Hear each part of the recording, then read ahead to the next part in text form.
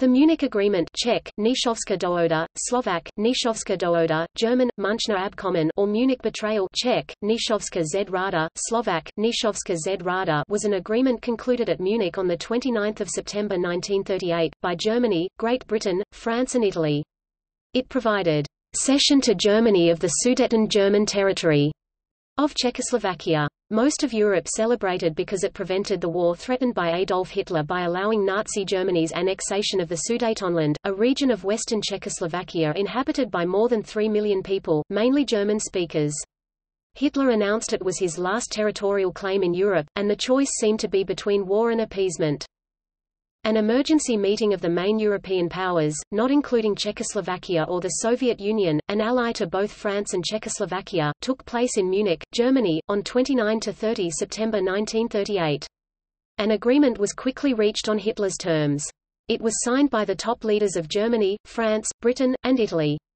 Militarily, the Sudetenland was of strategic importance to Czechoslovakia as most of its border defences were situated there to protect against a German attack.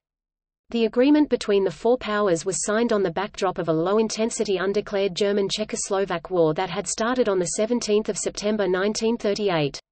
Meanwhile Poland, which was relying on German-Polish non-aggression pact, also moved its army units towards its common border with Czechoslovakia after 23 September 1938.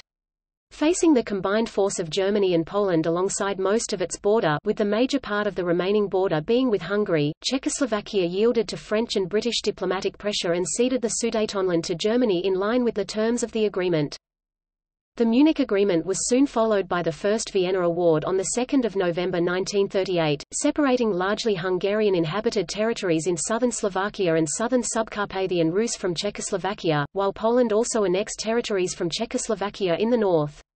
In March 1939, the First Slovak Republic was proclaimed, and shortly by the creation of the Protectorate of Bohemia and Moravia Germany took full control of the remaining Czech parts. As a result, Czechoslovakia had disappeared. Today, the Munich Agreement is widely regarded as a failed act of appeasement, and the term has become a byword for the futility of appeasing expansionist totalitarian states.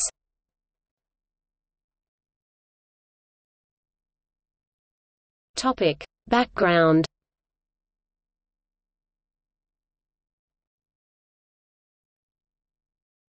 Topic. Demands for autonomy Czechoslovakia was created in 1918 following the collapse of the Austro-Hungarian Empire at the end of World War I. The Treaty of Versailles recognized the independence of Czechoslovakia with a population that included 3 million German-speaking people, 24% of the total population of the country.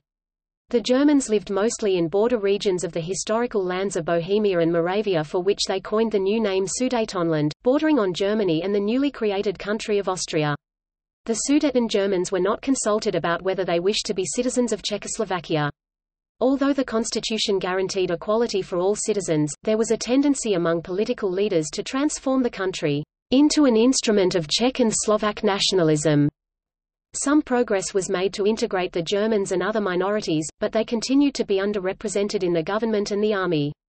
Moreover, the Great Depression beginning in 1929 impacted the highly industrialized and export-oriented Sudeten Germans more than it did the Czech and Slovak populations. By 1936, 60% of the unemployed people in Czechoslovakia were Germans. In 1933, Sudeten German leader Konrad Henlein founded the Sudeten German Party (SDP), which was militant, populist, and openly hostile to the Czechoslovakian government and soon captured two-thirds of the vote in districts with a heavy German population. Historians differ as to whether the SDP was from its beginning a Nazi front organization, or evolved into one. By 1935, the SDP was the second largest political party in Czechoslovakia as German votes concentrated on this party while Czech and Slovak votes were spread among several parties. Shortly after the Anschluss of Austria to Germany, Henlein met with Hitler in Berlin on 28 March 1938, where he was instructed to raise demands unacceptable to the Czechoslovak government led by President Edvard Beneš. On 24 April, the SDP issued a series of demands upon the government of Czechoslovakia, that were known as the Carlsbad Program. Among the demands, Henlein demanded autonomy for Germans living in Czechoslovakia. The Czechoslovak government responded by saying that it was willing to provide more minority rights to the German minority but was initially reluctant to grant them autonomy, with tension high between Germans and the Czechoslovakian government. On 15 September 1938 President Beneš offered secretly to give 6,000 square kilometers 2,300 square miles of Czechoslovakian territory to Germany in exchange for a German agreement to admit 1.5 to 2.0 million Sudeten Germans which Czechoslovakia would expel. Hitler did not reply. Topic: Sudeten crisis. As the previous appeasement of Hitler had shown, the governments of both France and Britain were intent on avoiding war. The French government did not wish to face Germany alone and took its lead from Britain's conservative government of Prime Minister Neville Chamberlain. Chamberlain considered the Sudeten German grievances justified and believed Hitler's intentions were limited. Both Britain and France, therefore, advised Czechoslovakia to accede to Germany's demands. Beneš resisted and on 19 May initiated a partial mobilization in response to possible German invasion. On 20 May, Hitler presented his generals with a draft plan of attack on Czechoslovakia codenamed Operation Green, insisting that he would not smash Czechoslovakia militarily without provocation, a particularly favorable opportunity, or adequate political justification. On 28 May, Hitler called a meeting of his service chiefs where he ordered an acceleration of U-boat construction and brought forward the construction of his first two battleships, Bismarck and Tirpitz, to spring 1940, and demanded that the increase in the firepower of the battlecruisers Scharnhorst and Gneisenau be accelerated. While recognizing that this would still be insufficient for a full-scale naval war with Britain, Hitler hoped it would be a sufficient deterrent. Ten days later, Hitler signed a secret directive for war against Czechoslovakia, to begin not later than 1 October. On the 22nd of May, Julius Lukasiewicz, the Polish ambassador to France, told the French Foreign Minister Georges Bonnet that if France moved against Germany in defense of Czechoslovakia, we shall not move. Lukasiewicz also told Bonnet that Poland would oppose any attempt by Soviet forces to defend Czechoslovakia from Germany.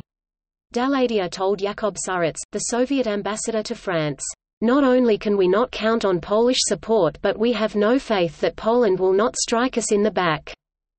Hitler's adjutant, Fritz Wiedemann, recalled after the war that he was very shocked by Hitler's new plans to attack Britain and France three to four years after deal-ing with the situation.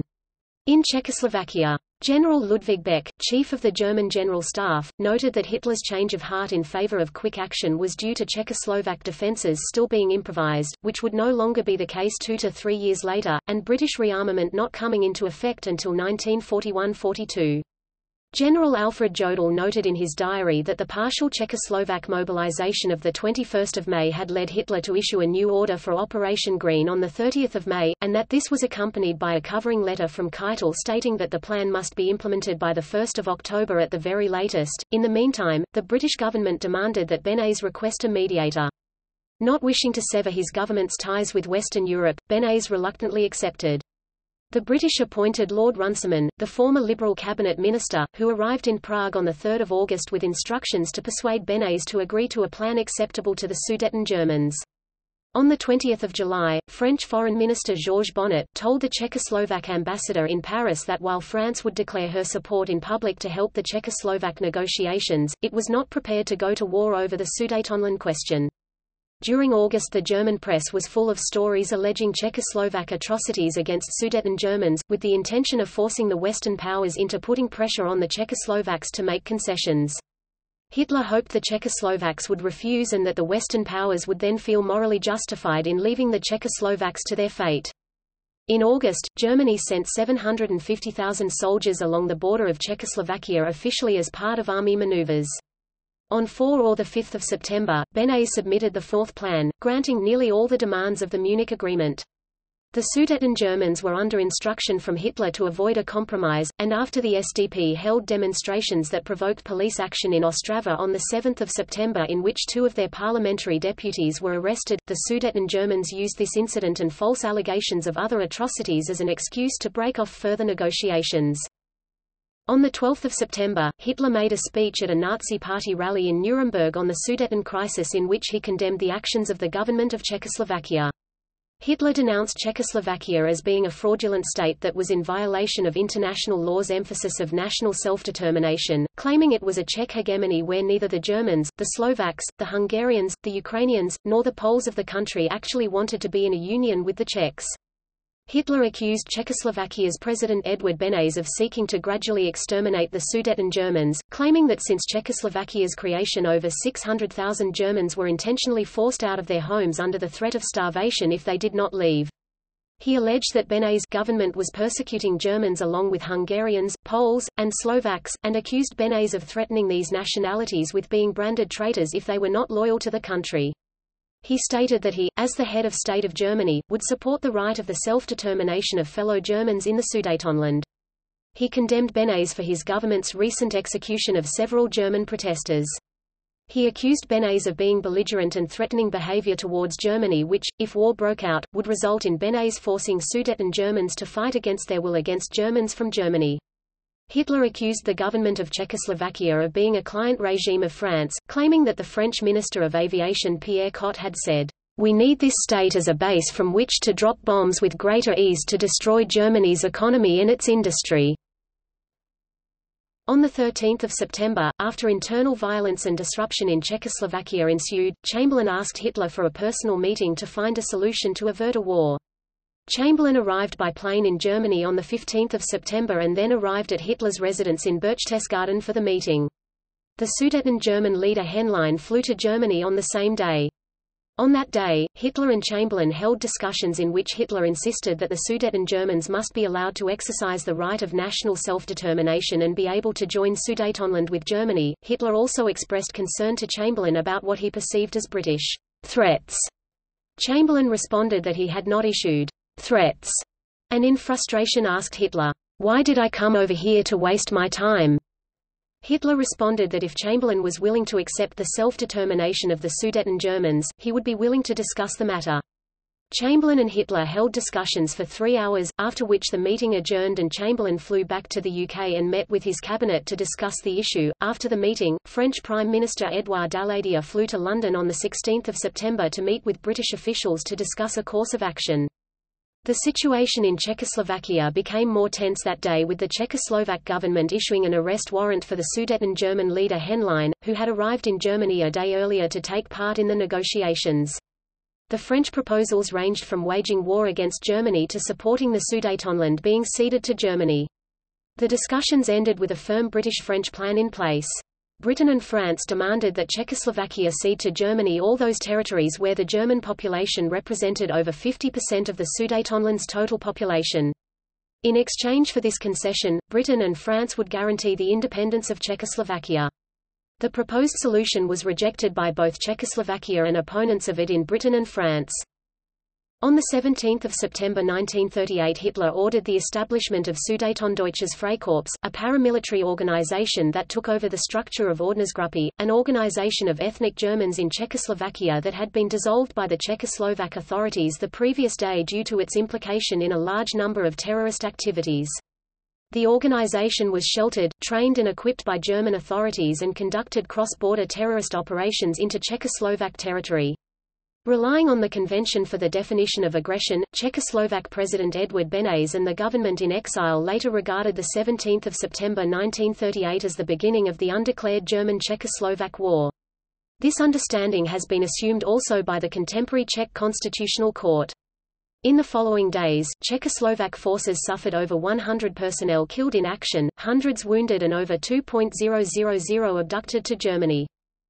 On 18 September, Italy's Duce Benito Mussolini made a speech in Trieste, Italy, where he declared, If there are two camps, for and against Prague, let it be known that Italy has chosen its side, with the clear implication being that Mussolini supported Germany in the crisis. On 20 September, German opponents to the Nazi regime within the military met to discuss the final plans of a plot they had developed to overthrow the Nazi regime. The meeting was led by General Hans Oster, the deputy head of the Abwehr Germany's counter-espionage agency. Other members included Captain Friedrich Wilhelm Heinz, and other military officers leading the planned coup d'état met at the meeting. On the 22nd of September, Chamberlain, about to board his plane to go to Germany for further talks at Bad Godesberg, told the press who met him there that My objective is peace in Europe, I trust this trip is the way to that peace. Chamberlain arrived in Cologne, where he received a lavish grand welcome with a German band playing, God Save the King, and Germans giving Chamberlain flowers and gifts. Chamberlain had calculated that fully accepting German annexation of all of the Sudetenland with no reductions would force Hitler to accept the agreement. Upon being told of this, Hitler responded, Does this mean that the Allies have agreed with Prague's approval to the transfer of the Sudetenland to Germany? Chamberlain responded, Precisely. To which Hitler responded by shaking his head, saying that the Allied offer was insufficient. He told Chamberlain that he wanted Czechoslovakia to be completely dissolved and its territories redistributed to Germany, Poland, and Hungary, and told Chamberlain to take it or leave it. Chamberlain was shaken by this statement. Hitler went on to tell Chamberlain that since their last meeting on the 15th, Czechoslovakia's actions, which Hitler claimed included killings of Germans, had made the situation unbearable for Germany. Later in the meeting, a prearranged deception was undertaken in order to influence and put pressure on Chamberlain. One of Hitler's aides entered the room to inform Hitler of more Germans being killed in Czechoslovakia, to which Hitler screamed in response, I will avenge every one of them. The Czechs must be destroyed. The meeting ended with Hitler refusing to make any concessions to the Allies' demands. Later that evening, Hitler grew worried that he had gone too far in pressuring Chamberlain, and telephoned Chamberlain's hotel suite, saying that he would accept annexing only the Sudetenland, with no designs on other territories, provided that Czechoslovakia begin the evacuation of ethnic Czechs from the German-majority territories by 26 September at 8 am. After being pressed by Chamberlain, Hitler agreed to have the ultimatum set for 1 October the same date that Operation Green was set to begin. Hitler then said to Chamberlain that this was one concession that he was willing to make to the Prime Minister as a gift, out of respect for the fact that Chamberlain had been willing to back down somewhat on his earlier position. Hitler went on to say that upon annexing the Sudetenland, Germany would hold no further territorial claims upon Czechoslovakia and would enter into a collective agreement to guarantee the borders of Germany and Czechoslovakia. Meanwhile, a new Czechoslovak cabinet, under General Jan Sirový, was installed and on 23 September a decree of general mobilization was issued which was accepted by the public with a strong enthusiasm. Within 24 hours, one million men joined the army to defend the country. The Czechoslovak army, modern, experienced and possessing an excellent system of frontier fortifications, was prepared to fight. The Soviet Union announced its willingness to come to Czechoslovakia's assistance, provided that the Soviet army would be able to cross Polish and Romanian territory.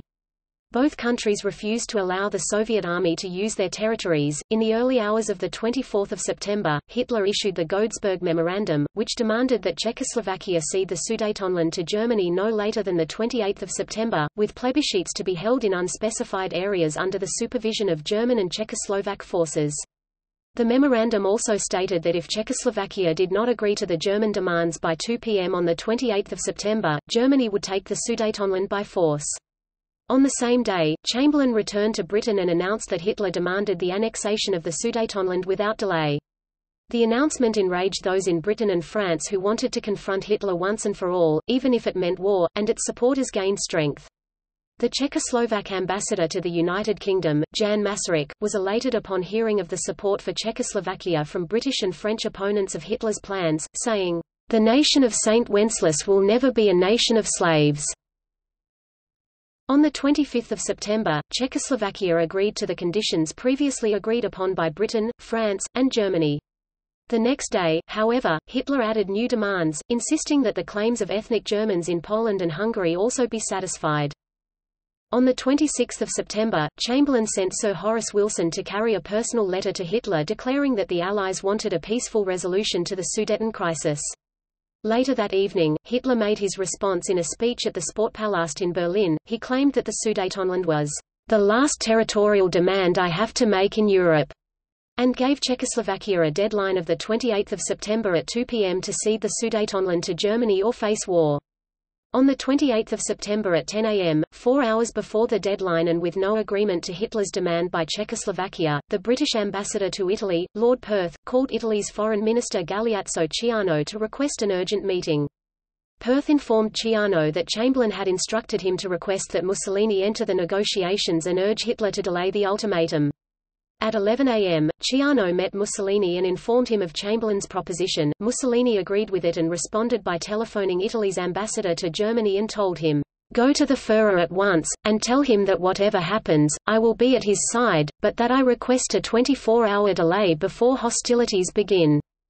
In the meantime, I will study what can be done to solve the problem.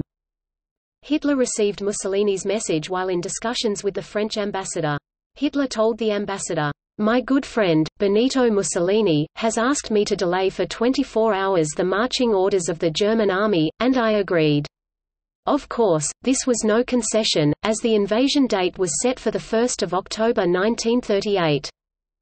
Upon speaking with Chamberlain, Lord Perth gave Chamberlain's thanks to Mussolini as well as Chamberlain's request that Mussolini attend a four-power conference of Britain, France, Germany, and Italy in Munich on 29 September to settle the Sudeten problem prior to the deadline of 2 p.m.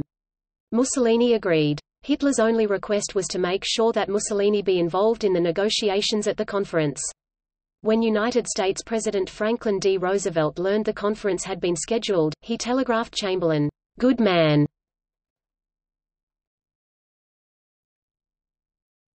Topic: Polish and Hungarian actions during the crisis. Poland was building up a secret Polish organization in the area of Zaolzie from 1935. In summer 1938, Poland tried to organize guerrilla groups in the area. On 21 September, Poland officially requested a direct transfer of the area to its own control. This was accompanied by placing army along the Czechoslovak border on 23–24 September and by giving an order to the so-called battle units of Zaolzie Poles and the Zaolzie Legion, a paramilitary organization subordinate to Army Command and made up of volunteers from all over Poland, to cross the border to Czechoslovakia and attack Czechoslovak units. Those were, however, repulsed by Czechoslovak forces and retreated to Poland. Hungary followed Polish request for transfer of territory with its own one on the 22nd of September.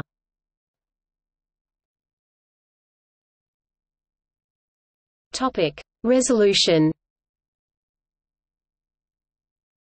A deal was reached on 29 September, and at about 1.30 am on 30 September 1938, Adolf Hitler, Neville Chamberlain, Benito Mussolini and Edouard Daladier signed the Munich Agreement.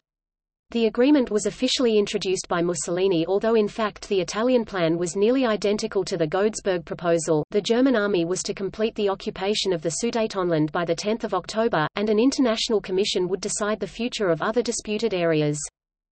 Czechoslovakia was informed by Britain and France that it could either resist Nazi Germany alone or submit to the prescribed annexations. The Czechoslovak government, realizing the hopelessness of fighting the Nazis alone, reluctantly capitulated the 30th of September and agreed to abide by the agreement. The settlement gave Germany the Sudetenland starting the 10th of October, and de facto control over the rest of Czechoslovakia as long as Hitler promised to go no further. On 30 September after some rest, Chamberlain went to Hitler and asked him to sign a peace treaty between the United Kingdom and Germany. After Hitler's interpreter translated it for him, he happily agreed. On 30 September, upon his return to Britain, Chamberlain delivered his controversial, Peace for Our Time speech to crowds in London. Topic. Reactions Though the British and French were pleased, as were the Nazi military and German diplomatic leadership, a British diplomat in Berlin claimed he had been informed by reliable sources that soon after the meeting with Chamberlain Hitler had furiously said, Gentlemen, this has been my first international conference and I can assure you that it will be my last. The British diplomat claimed his sources relayed that Hitler viewed Chamberlain as an impertinent busybody who spoke the ridiculous jargon of an outmoded democracy. In his post-war memoirs, Winston Churchill, a staunch opponent of appeasement, lumped Poland and Hungary, both of which subsequently annexed parts of Czechoslovakia containing Polish and Hungarian nationals, with Germany as vultures upon the carcass of Czechoslovakia. The agreement was generally applauded. Prime Minister Édouard Daladier of France did not believe, as one scholar put it, that a European war was justified to maintain three million Germans under Czech sovereignty. Gallup polls in Britain, France, and the United States indicated that the majority of people supported the agreement. President Beneš of Czechoslovakia was nominated for a Nobel Peace Prize in 1939. Even Winston Churchill was reported at the time as commenting that he would have done the same as Chamberlain. The New York Times headline on the Munich Agreement read, Hitler gets less than his Sudeten demands. and reported that a joyful crowd hailed Daladier on his return to France and that Chamberlain was wildly cheered. On his return to Britain, Australian Prime Minister Joseph Lyons said, we owe heartfelt thanks to all responsible for the outcome, and appreciate very much the efforts of President Roosevelt and Signor Mussolini to bring about the Munich Conference of the Powers at which a united desire for peace has been shown. Joseph Stalin was upset by the results of the Munich Conference.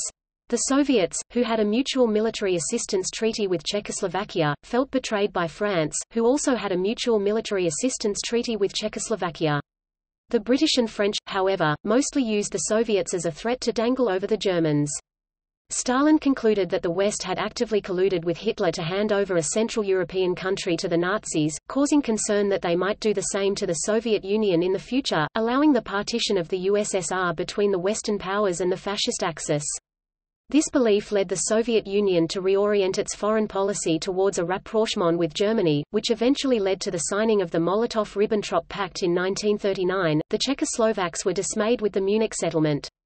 They were not invited to the conference, and felt they had been betrayed by the United Kingdom and France. Czechs and Slovaks call the Munich Agreement the Munich Diktat Czech, Mnichovský diktat, Slovak, Mnichovský diktat. The phrase, Munich betrayal, Czech, Mnichovská zrada, Slovak, Mnichovská zrada is also used because the military alliance Czechoslovakia had with France proved useless. The slogan, About us, without us, Czech, O nás bez nás, summarizes the feelings of the people of Czechoslovakia now Slovakia and Czech Republic towards the agreement. With Sudetenland gone to Germany, Czechoslovakia as the state was now renamed lost its defensible border with Germany and its fortifications. Without them its independence became more nominal than real. Czechoslovakia also lost 70% of its iron, steel industry, 70% of its electrical power and 3.5 million citizens to Germany as a result of the settlement. The Sudeten Germans celebrated what they saw as their liberation. The imminent war, it seemed, had been avoided. Before the Munich Agreement, Hitler's determination to invade Czechoslovakia on 1 October 1938 had provoked a major crisis in the German command structure. The Chief of the General Staff, General Ludwig Beck, protested in a lengthy series of memos that it would start a world war that Germany would lose, and urged Hitler to put off the projected war. Hitler called Beck's arguments against war, kindische Kräfteberechnungen, childish force calculations. On 4 August 1938, a secret army meeting was held. Beck read his lengthy report to the assembled officers. They all agreed something had to be done to prevent certain disaster. Beck hoped they would all resign together but no one resigned except Beck. His replacement, General Franz Halder, sympathized with Beck and they both conspired with several top generals, Admiral Wilhelm Canaris chief of German intelligence, and Graf von Helldorf Berlin's police chief to arrest Hitler the moment he gave the invasion order.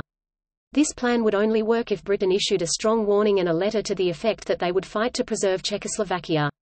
This would help to convince the German people that certain defeat awaited Germany.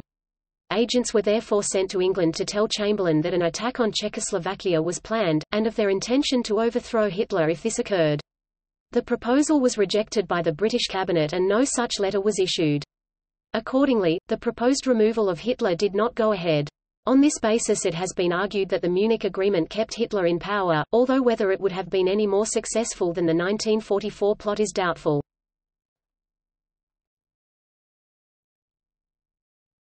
Topic: Opinions about the agreement. The British population had expected imminent war and the statesman-like gesture of Chamberlain was at first greeted with acclaim.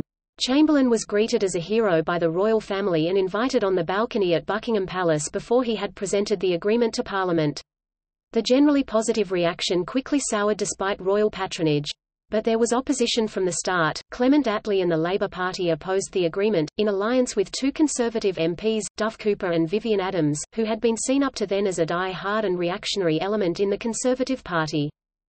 As the threat of Germany and a European war became more evident, opinions changed. Chamberlain was excoriated for his role as one of the men of Munich in books such as the 1940 Guilty Men. A rare wartime defense of the Munich Agreement came in 1944 from Viscount Maugham, who had been Lord Chancellor at the time. Maugham viewed the decision to establish a Czechoslovak state including substantial German and Hungarian minorities as a dangerous experiment in the light of previous disputes and ascribed the Munich Agreement largely to France's need to extricate itself from its treaty obligations in the light of its unpreparedness for war. After the war, Churchill's memoir of the period, The Gathering Storm 1948, asserted that Chamberlain's appeasement of Hitler at Munich had been wrong, and recorded Churchill's pre-war warnings of Hitler's plan of aggression and the folly of Britain's persisting with disarmament after Germany had achieved air parity with Britain. Although Churchill recognized that Chamberlain acted from noble motives, he argued that Hitler should have been resisted over Czechoslovakia and that efforts should have been made to involve the Soviet Union on their side. Daladier believed Hitler's ultimate goals were a threat. He told the British in a late April 1938 meeting that Hitler's real aim was to eventually secure a domination of the continent in comparison with which the ambitions of Napoleon were feeble. He went on to say, Today it is the turn of Czechoslovakia. Tomorrow it will be the turn of Poland and Romania. When Germany has obtained the oil and wheat it needs, she will turn on the West. Certainly we must multiply our efforts to avoid war. But that will not be obtained unless Great Britain and France stick together, intervening in Prague for new concessions but declaring at the same time that they will safeguard the independence of Czechoslovakia. If, on the contrary, the Western powers capitulate again they will only precipitate the war they wish to avoid. Perhaps discouraged by the arguments of the military and civilian members of the French government regarding their unprepared military and weak financial situation, as well as traumatized by France's bloodbath in the First World War that he was personally a witness to, Daladier ultimately let Chamberlain have his way. On his return to Paris, Daladier, who was expecting a hostile crowd, was acclaimed American historian William Shirer, in his The Rise and Fall of the Third Reich 1960, took the view that although Hitler was not bluffing about his intention to invade, Czechoslovakia would have been able to offer significant resistance. Shirer believed that Britain and France had sufficient air defences to avoid serious bombing of London and Paris and would have been able to pursue a rapid and successful war against Germany. He quotes Churchill as saying the Munich Agreement meant that, "...Britain and France were in a much worse position compared to Hitler's Germany." After Adolf Hitler personally inspected the Czech fortifications, he privately said to Joseph Goebbels, "We would have shed a lot of blood," and that it was fortunate that there had been no fighting. Topic: Ghost of Munich. In the United States and the United Kingdom, the words Munich and appeasement are synonymous with demanding forthright, often military, action to resolve an international crisis and characterizing a political opponent who condemns negotiation as weakness. In 1950, President Truman invoked Munich to justify his military action in the Korean War. The world learned from Munich that security cannot be bought by appeasement. He said. Many subsequent crises has been accompanied by cries of Munich from politicians and the media. In 1960, conservative Senator Barry Goldwater used Munich to describe a domestic political issue, saying that an attempt by the Republican Party to appeal to liberals was the Munich of the Republican Party. In 1962, General Curtis LeMay told President John F. Kennedy that his refusal to bomb Cuba during the Cuban Missile Crisis was almost as bad as the appeasement at Munich. In 1965, President Lyndon Johnson, in justifying increased U.S. military action in Vietnam said, We learned from Hitler and Munich that success only feeds the appetite for aggression. Citing Munich in debates on foreign policy has continued to be commonplace into the 21st century. During negotiations for the Iran nuclear agreement by Secretary of State John Kerry, a Texas Republican congressman characterized the negotiation as worse than Munich.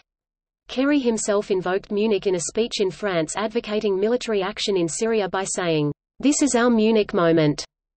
Munich and appeasement, in the words of scholars Frederick Logevall and Kenneth Osgood, have become among the dirtiest words in American politics, synonymous with naivete and weakness, and signifying a craven willingness to barter away the nation's vital interests for empty promises.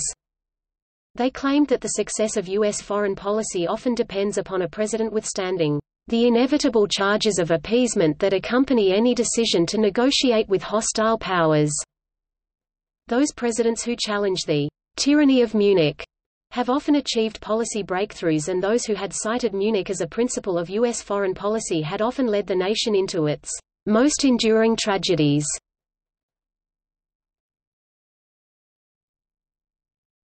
Topic: Consequences of the Munich Agreement. On 5 October, Beneš resigned as president of Czechoslovakia, realizing that the fall of Czechoslovakia was inevitable.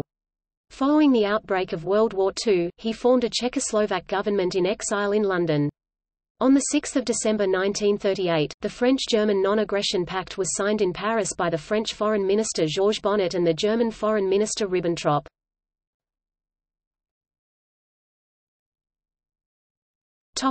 Czechoslovakia after Munich.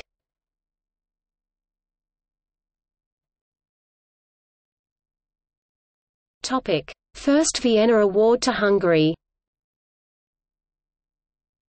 In early November 1938, under the First Vienna Award, which was after the failed negotiations between Czechoslovakia and Hungary, as a recommendation to settle the territorial disputes by the appendix of the Munich Agreement, by German-Italian arbitration Czechoslovakia had to cede the territory of southern Slovakia one-third of Slovak territory to Hungary, while Poland independently gained small territorial cessions shortly after Zaolzie. As a result, Bohemia, Moravia and Silesia lost about 38% of their combined area to Germany, with some 2.8 million German and 513,000 to 750,000 Czech inhabitants. Hungary, in turn, received 11,882 square kilometers (4,588 square miles) in southern Slovakia and southern Carpathian Ruthenia. According to a 1941 census, about 86.5% of the population in this territory was Hungarian.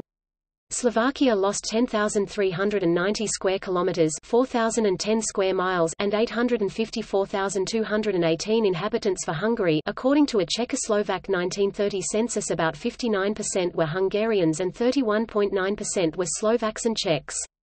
Meanwhile, Poland annexed the town of Český Těšín with the surrounding area some 906 square kilometers 350 square miles, with 250,000 inhabitants. Poles made up about 36% of the population, a drop from 69% in 1910, and two minor border areas in northern Slovakia, more precisely in the regions Spiš and Orava. 226 square kilometers 87 square miles 4280 inhabitants only 0.3% Poles Soon after Munich, 115,000 Czechs and 30,000 Germans fled to the remaining rump of Czechoslovakia. According to the Institute for Refugee Assistance, the actual count of refugees on 1 March 1939 stood at almost 150,000. On 4 December 1938, there were elections in Reichsgau Sudetenland, in which 97.32% of the adult population voted for NSDAP. About a half million Sudeten Germans joined the Nazi Party which was 17.34% of the German population in Sudetenland the average NSDAP participation in Nazi Germany was 7.85%.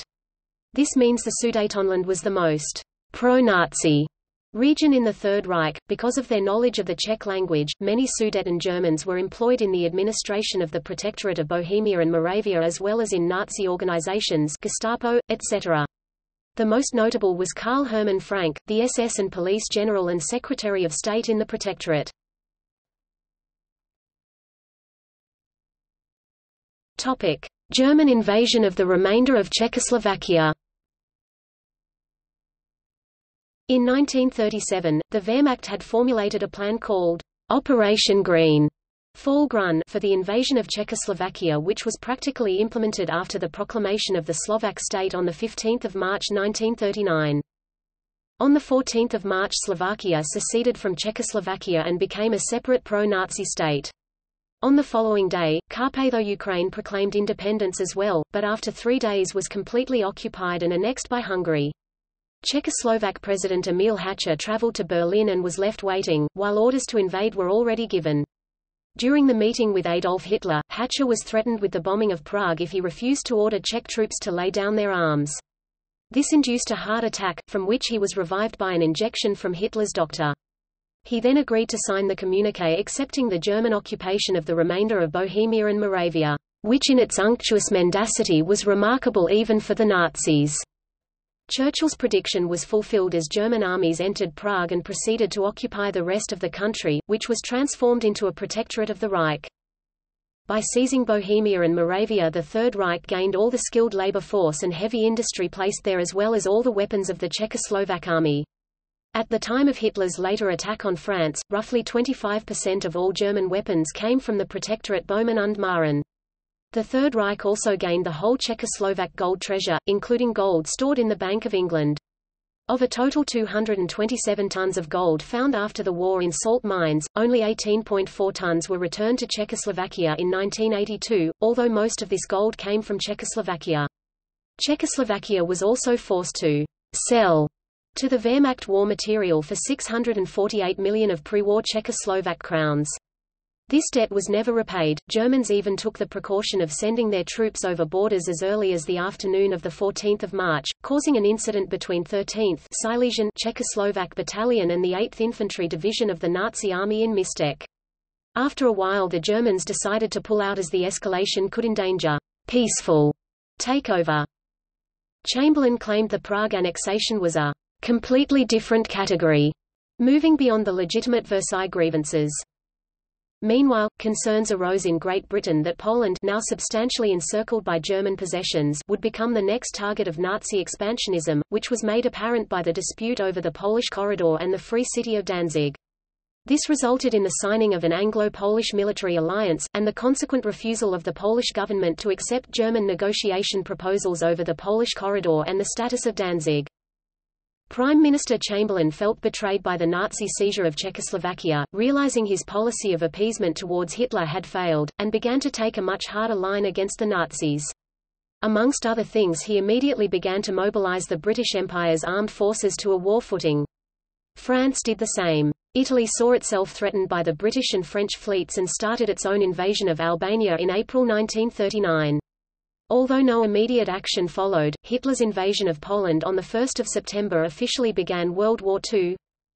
Significant industrial potential and military equipment of the former Czechoslovakia had been efficiently absorbed into the Third Reich.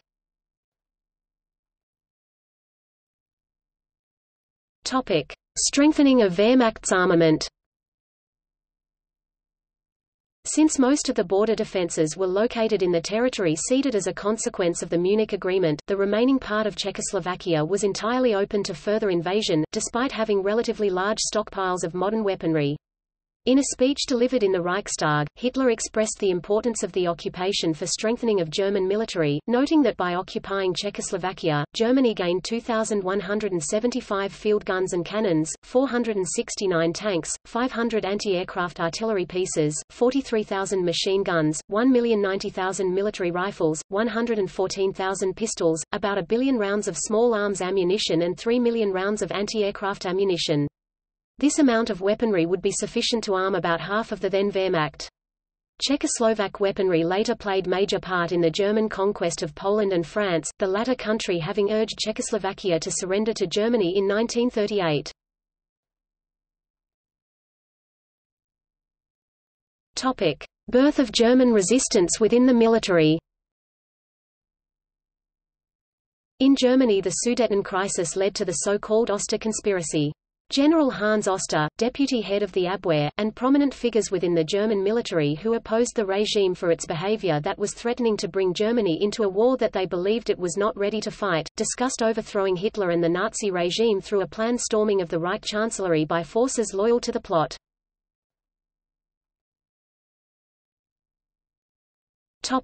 Italian colonial demands from France Italy strongly supported Germany at Munich and a few weeks later in October 1938 it tried to use its advantage to make new demands on France. Mussolini demanded, a free port at Djibouti, control of the Addis Ababa-Djibouti Railroad, Italian participation in the management of Suez Canal Company, some form of French-Italian condominium over Tunisia, and the preservation of Italian culture in French-held Corsica with no French assimilation of the people. France rejected these demands and began threatening naval maneuvers as a warning to Italy.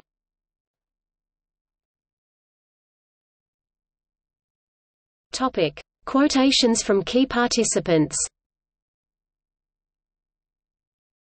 Germany stated that the incorporation of Austria into the Reich resulted in borders with Czechoslovakia that were a great danger to German security, and that this allowed Germany to be encircled by the Western powers. Neville Chamberlain, announced the deal at Heston Aerodrome as follows.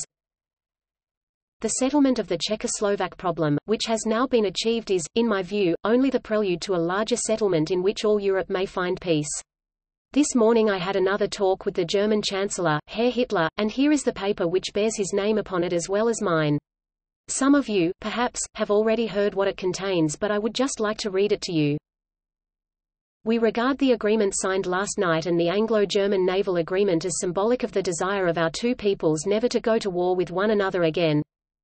Later that day he stood outside 10 Downing Street and again read from the document and concluded, my good friends, for the second time in our history a British Prime Minister has returned from Germany bringing peace with honour. I believe it is peace for our time. Chamberlain's reference to Disraeli's return from the Congress of Berlin in 1878. Chamberlain in a letter to his sister Hilda, on 2 October 1938, wrote, I asked Hitler about one in the morning while we were waiting for the draftsman whether he would care to see me for another talk. I had a very friendly and pleasant talk, on Spain, where he too said he had never had any territorial ambitions economic relations with SE. Europe, and disarmament. I did not mention colonies, nor did he. At the end I pulled out the declaration which I had prepared beforehand and asked if he would sign it.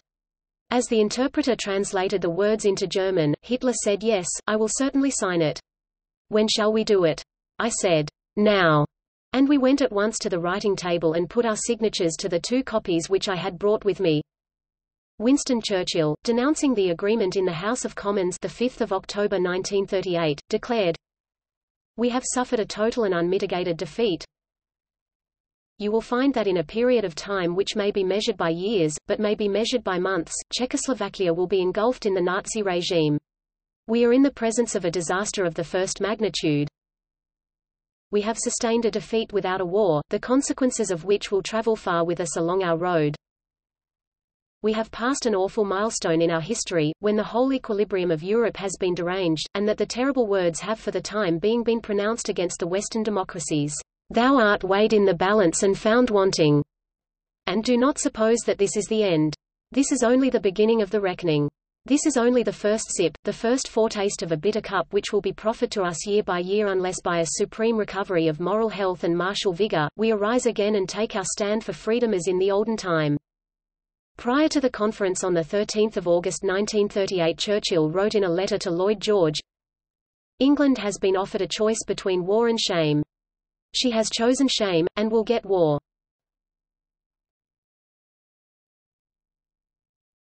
Topic. Legal nullification During the Second World War, British Prime Minister Churchill, who opposed the agreement when it was signed, became determined that the terms of the agreement would not be upheld after the war and that the Sudeten territories should be returned to post-war Czechoslovakia. On 5 August 1942, Foreign Minister Anthony Eden sent the following note to Jan Masaryk, in the light of recent exchanges of view between our governments, I think it may be useful for me to make the following statement about the attitude of His Majesty's government in the United Kingdom as regards Czechoslovakia. In my letter of 18 July 1941, I informed Your Excellency that the King had decided to accredit an envoy extraordinary and minister plenipotentiary to Dr. Beneš as President of the Czechoslovak Republic. I explained that this decision implied that His Majesty's government in the United Kingdom regarded the juridical position of the President and government of the Czechoslovak Republic as identical with that of the other Allied heads of states and governments established in this country. The status of His Majesty's representative has recently been raised to that of an ambassador. The Prime Minister had already stated in a message broadcast to the Czechoslovak people on 30 September 1940, the attitude of His Majesty's government in regard to the arrangements reached at Munich in 1938. Mr. Churchill then said that the Munich Agreement had been destroyed by the Germans. This statement was formally communicated to Dr. Beneš on the 11th of November 1940. The foregoing statement and formal act of recognition have guided the policy of His Majesty's government in regard to Czechoslovakia, but in order to avoid any possible misunderstanding, I desire to declare on behalf of His Majesty's government in the United Kingdom that as Germany has deliberately destroyed the arrangements concerning Czechoslovakia reached in 1938, in which His Majesty's government in the United Kingdom participated, His Majesty's government regard themselves as free from any engagements in this respect. At the final settlement of the Czechoslovak frontiers to be reached at the end of the war they will not be influenced by any changes effected in and since 1938. To which Masaryk replied as follows, I have the honor to acknowledge the receipt of your note of 5 August 1942, and I avail myself of this opportunity to convey to your Excellency, on behalf of the Czechoslovak government and of myself, as well as in the name of the whole Czechoslovak people who are at present suffering so terribly under the Nazi yoke, the expression of our warmest thanks. Your Excellency's note emphasizes the fact that the formal act of recognition has guided the policy of His Majesty's government in regard to Czechoslovakia, but, in order to avoid any possible misunderstanding, His Majesty's government now desire to declare that, as Germany has deliberately destroyed the arrangements concerning Czechoslovakia reached in 1938, in which His Majesty's government in the United Kingdom participated, His Majesty's government regard themselves as free from any engagements in this respect. At the final settlement of the Czechoslovak frontiers to be reached at the end of the war, they will not be influenced by any changes effected in and since 1938. My government accept Your Excellency's note as a practical solution of the questions and difficulties of vital importance for Czechoslovakia which emerged between our two countries as the consequence of the Munich Agreement, maintaining, of course, our political and juridical position with regard to the Munich Agreement and the events which followed it as expressed in the note of the Czechoslovak Ministry for Foreign Affairs of 16 December 1941.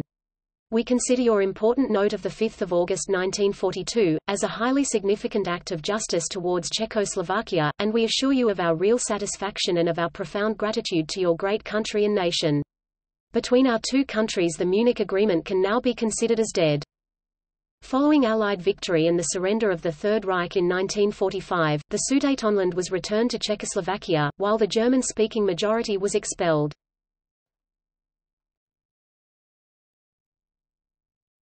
Topic: Legacy.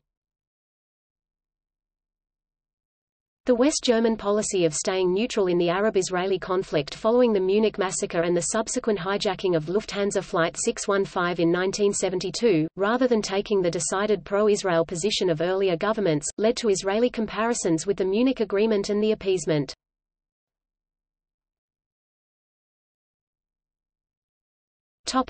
See also Appeasement of Hitler. Neville Chamberlain's European policy. German occupation of Czechoslovakia. Lesson of Munich. Treaty of Prague 1973 Western betrayal. Sudetenland Medal. Causes of World War II